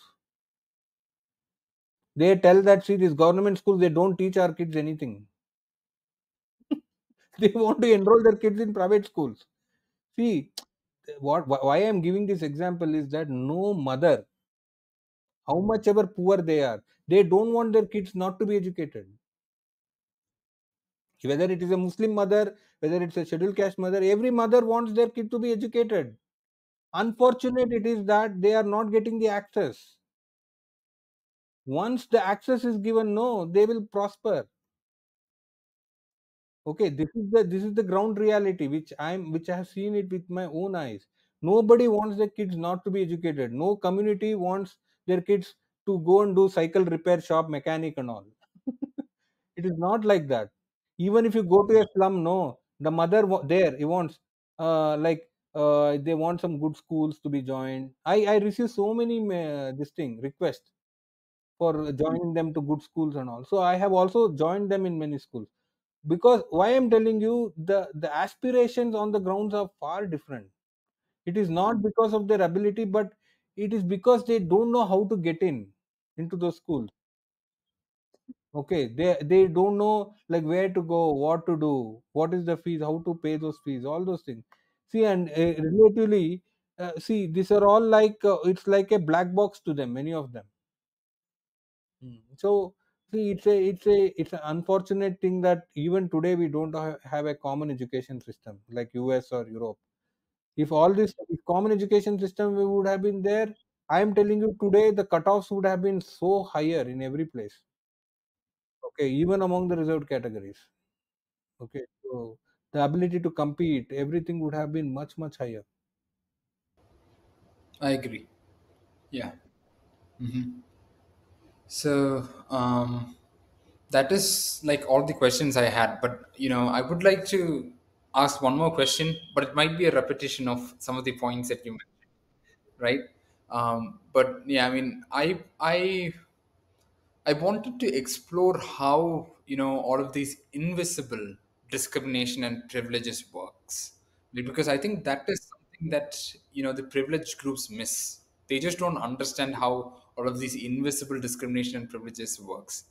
So I mean, could you like expand on that point that we you know Yeah, yeah. See, I have devoted one full chapter in my book, Inspiring Ambedkar, on this merit versus privilege. One full chapter I have devoted where I mention that, see, merit, like your economic success, okay, is dependent on three factors. I call this as HPU formula, okay. Wh- Whether you will be successful or not, the first is H. H in HPU means hard work. Like for example whether you have the ability to work smart work intensity of work focus without distraction all these thing factors come. The second factor which many people miss out is the privilege.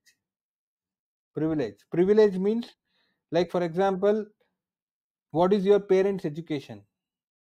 What support you are getting in the house whether your parent will support you parents wealth whether you can go take that money and then invest in something what is parents recurring income monthly income Okay. Then uh, neighborhood ghettoization. See, what I'm telling you, neighborhood ghettoization is a very, very common thing in sou- southern India. Like, for example, what has happened is if you see Tamil Nadu, Karnataka, almost the Dalit families, no, they are all staying across the railway tracks, surrounding the railway tracks.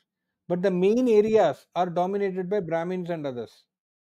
So this is the ghettoization. All the major facilities like good educational institutions, everything is there in the Brahmins area You are not allowed inside. even in Kerala we have like the Jadi colonies, caste colonies. The caste colonies. So ghettoization leads to your lesser access. Okay, so in southern India it is very very common. Then family support, friends network. Okay, then there is like natural ability of the community to emphasize on education. Some communities think that mm-hmm. education is useless. Okay, mm-hmm. you go work there, oh, so you don't have to do. So all this factor that comes, all this thing comes under privilege. The last mm-hmm. factor is your success depends on you. That is uncertainty Uncertainty means you have to be at the right place at the right time. hmm? Otherwise, you will not succeed. Then sometimes you there may be accidents in your life and you may go back. Your health is uncertain. Your mental strength and good governance models like government what initiatives they take it also depends on that. Good environment. So your entire success depends on all these things. Okay? And in this privilege is something which is very very big. Okay? So which which is very big which many people unfortunately they don't uh, give credit to that okay so they uh, see that, that is very common. What i have seen is that many uh, many people even the richest of the richest guys they tell that they came up because of merit. Okay they will never recognize that their fathers actually helped them. They had some wealth. Like i'll tell you bill gates. Bill gates why did he start microsoft? Because i'll tell you he was given access to a computer at a very young age. Okay. How many kids in india has access? Okay. So do they have the access? Do, do can they open up the computer and play around with it? Nothing no. See this is the kind of a privilege or a uh, uh, opportunity they had to explore. And another thing the capital. Like see many people tell that you go and open a company okay Now Bill Gates, Mark Zuckerberg, they all had so much of intergenerational wealth. Even if they fail, no, they can go back to their wealth. But for a salaried SC ST guy who does not have so, too much of a wealth, if he goes and invests in a company and loses all his retirement money, can he go back? So this is what what I am telling. It's very easy for a Ambani to build a business than a schedule caste uh, this thing. So this is where empowerment is needed. So interventions are needed. So uh, that is how the privilege operates. Yeah. What about like the discrimination? Like, you know, when people think about discrimination, they're thinking about like visible discrimination, like uh, someone shouting at someone or, you know, like saying that I won't eat your food and that kind of stuff. Is there like invisible discrimination as well that happens? See, invisible discrimination uh, happens in a very subtle way. Like, for example, when will it happen? For example, when you fall in love with an upper caste kid, upper caste girl, like you are a Dalit, and if you fall in a love with upper caste girl, huh, uh, will that girl accept you? Or even if that girl accepts you, whether will their family accept you? Now, see, you are a very rich. Let us assume you are a very rich kid. You are employed. You are earning five lakhs per month. hmm? Will that family give you their daughter? Huh? So discrimination is there, no? So you are empowered, you are actually socially forward, economically forward in terms of the society, but still when it comes to a marriage, are you able to marry? The cash comes in. Hmm? Why? Because some uh, people uh, have created this structure. Many people are very scared because if you go into the Hindu scriptures, what it tells is that how this varna system came and then caste system came is all based on the karma theory. Karma theory means like for example in the earlier janma of yours you have done some papam. All those accumulated papams no has made you uh, be, has made you born in this uh, dalit as a dalit or others.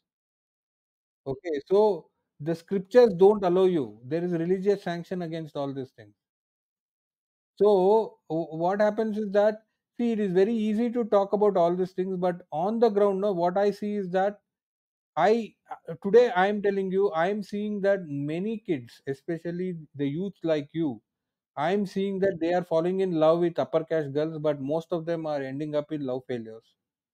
Huh? They are not able to manage themselves properly. Huh?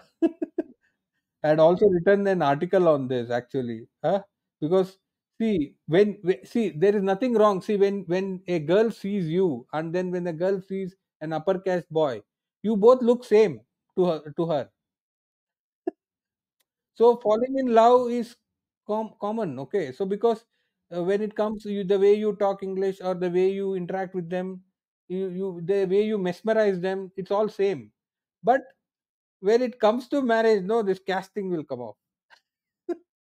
So that is leading to a lot of love failures and and some places actually honor killings. In places like tamil nadu all this thing no it's very ruthless. Some caste especially the obc caste there like gounders all they are very particular. They'll just go and kill them off okay? So many killings have happened. So but but if you see logically if i see them the probably that boy was the correct boy see discrimination in the current world has changed completely Okay, like see for example, uh, uh, in North India and all, whenever the kid goes to a school, the first thing they will be asked is the surname. So there are l- various accounts, there are various papers on this also where they tell आगे क्या तुम्हारा नाम के पास आगे क्या है so they keep asking that again and again so that they come to know what is your caste so uh, in uh, in kerala in every temple they make you remove your shirt uh, why do they make that So Kerala is one place where I've seen this ruthless uh, enforcement of the shirt removal. Huh? You go to any any small temple, also they'll make you remove. Huh? And the sad thing is in Tamil Nadu, no, they don't make uh, the VIPs remove. Like for example, I'm an IRS officer, they don't make us remove. They take us directly with the shirt. But in Kerala, I don't I don't understand what has happened there. They make us even ask to remove the shirts. everywhere this is one common thing i have noticed everywhere in so why are they doing that huh? that is not a some kind of a discrimination see discrimination exists in our system okay. But it does not because it is not allowed under constitution because it has become an offense nobody dares to talk directly. Okay but it is there and preference is also there. Preference is also there. And and this this can be solved only by a social movement or anything. It cannot be solved just by reservations or other things. Okay because religious reforms are required in this. Okay like for example in the recent subcategorization order uh, a supreme court judge told that there is no varna system. There is no caste system. I don't know whether you saw that huh? Okay. So but but but see but, but you tell me i am an IAS, I, irs officer. I am from iit IIM i am very knowledgeable. Can i move up the ladder in the varna system? Can i be can i become a brahmin No. I mean, some people say that you can, but you can't in reality. you can't. In reality. The religion does not sanction that.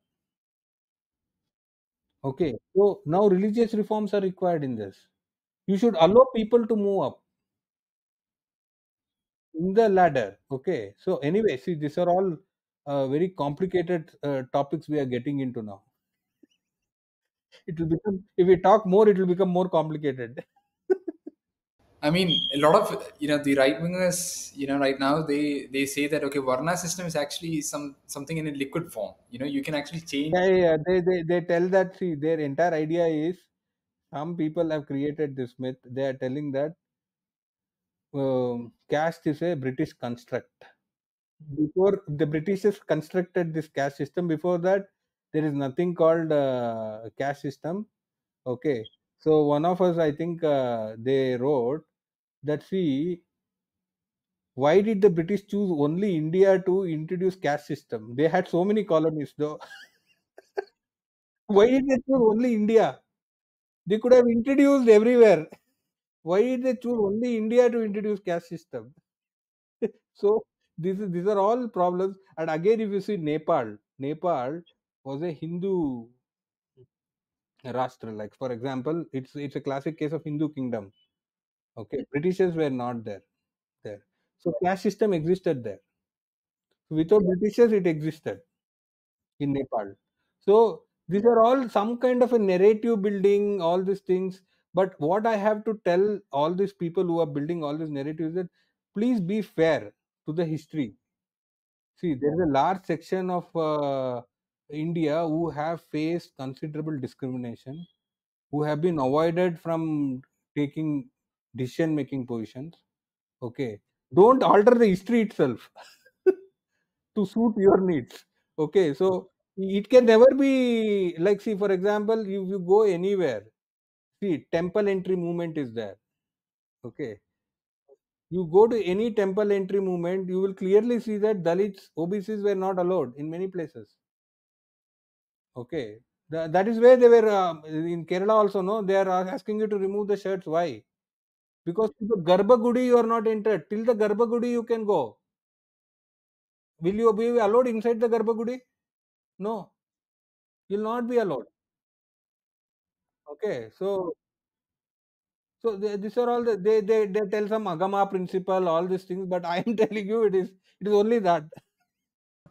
Yeah, I mean, um, the main temples in Kerala, right? Sabarimala, Guruvayur temples.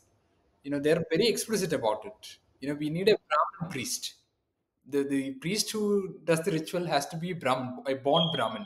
You can't just learn all of the mantras and stuff like that. You know, you don't just get promoted. Uh, yeah, yeah, th- th- that is okay. But what I am telling you, will why should a Dalit be stopped from accessing the God?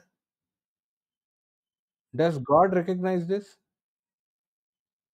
No, no, I, I'm asking you this question. No. Does see for God, let us assume he- I'm a client type customer. See, I worship him. So he will bestow his blessings on me also. It is not like he'll bestow blessings only on few people. Why should he be denied the access? See, these are all self-created irrational uh, what i am telling you rituals which has no basis. Even if you go into the vedas or even if you go into the scriptures and all no you can clearly tell that these are not essential. Okay? But unfortunately few people interpret it and then introduce it to create a monopoly. Okay? Now in tamil nadu you have reservations in priest. There are backward class priests there are dalit priests can you tell that uh, the those temples are not run professionally? No they are run professionally. See see what i am telling you by putting all these thing extra things no you are only monopolizing. You are not allowing entry to others. What i call as structural barriers. You create structural barriers and then stop allow uh, stop up entry like today in tamil nadu lot of dalit kids they learn vedas they go do they do mantras. They do mantras better than the brahmins i'm telling you. I have seen them in chennai when uh, I, w- I was working in chennai for a long time. So these are all like myths created that only a certain community can do it. So we have to get out of all these things and then create a more diverse uh, space for everyone. When the diversity increases automatically all these things will be solved Yeah. Yeah. So we have gone past two hours. So yeah, I, I also wanted to ask you about the subcategorization question, but I think we can do that sometime later because we have already subcategorization you take it other thing because now already too many people are after my soul because I have spoken in favor of subcategorization. Uh, entire India, many political parties are against me. yeah, yeah. Because I gave them some data on Madiga and Mala in Tamil, Andhra Pradesh. I told them if I see the data, it is very clear that subcategorization is needed. You cannot allow monopolization. Okay. In the name of reservation, you cannot allow one community to dominate. That time very clear. Okay. And I am clear even from the Brahmins uh, reservation uh, talk also why Brahmins were attacked because they monopolized it. If they had allowed others, reservation would have never come. But now in scheduled caste also, the same principle, only one community dominates. If you take Minas, no, they are dominating the entire civil services. How can it be correct? See, there are people from uh, other communities also, no, like other states like Kerala, Tamil Nadu. They are also very backward. Okay, you have to give access. So subcategorization is needed. So to plainly tell that it is not needed, I am not agree. Yeah, that makes sense. It's it's a system of graded inequality. So we have introduced subcategory. If if it if the data shows that sub, uh, like there is monopolization by few castes, we have to introduce subcategory. There is no other go. Anyway, we will discuss that later on because that's a big big uh, big topic. Hmm? Yeah. So we can find some other day and we can Mr. Nethrapal to discuss about the specifically some other time. Thank you for coming onto our channel. So yeah, I mean our audiences we, we have been introducing a lot of different, you know, people who talk about, you know, Dalit issues, reservation and that. Thanks a lot. I also enjoyed talking with you. It's uh, because most most of the things I spoke out uh, out of nothing. Okay, so so because the questions were very interesting, huh? and I hope that uh, people find it uh, beneficial. Thanks a lot. Yeah, thank you so much for coming on to our channel. And we will link uh, Mr. Nethrapal's books um, in the description. That way people can go Yeah, I will and send you the links. Yes, yes. yeah. So Thank you. so Thank much. you. And we can end the recording. Yeah. Yeah.